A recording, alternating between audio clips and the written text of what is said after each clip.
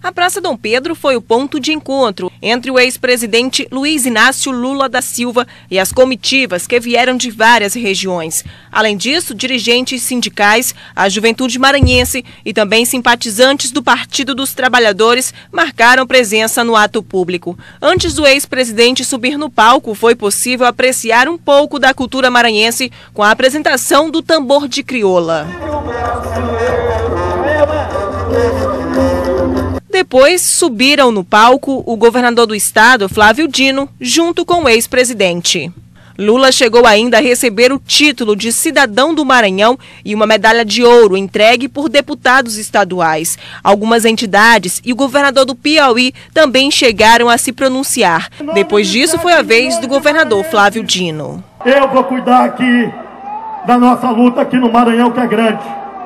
Mas não esqueça, não esqueça, Todas as vezes que o senhor precisar, pode contar com o povo do Maranhão. Pode contar com o povo dessa terra.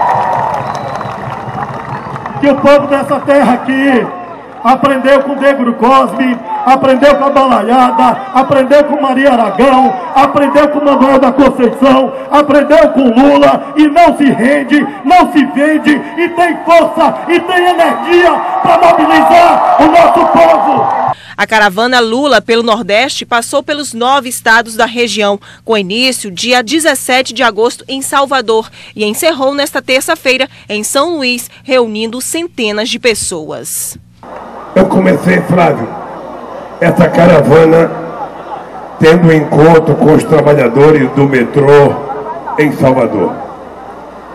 Foi uma das coisas mais emocionantes da minha vida eu que a vida inteira lidei com trabalhadores, eu que a vida inteira estive dentro de uma fábrica, eu que durante parte da minha vida fui dirigente sindical, eu fiquei emocionado com os trabalhadores do metrô da Bahia, porque eu nunca vi pessoas tão dedicadas em acreditar que a gente precisa recuperar o país.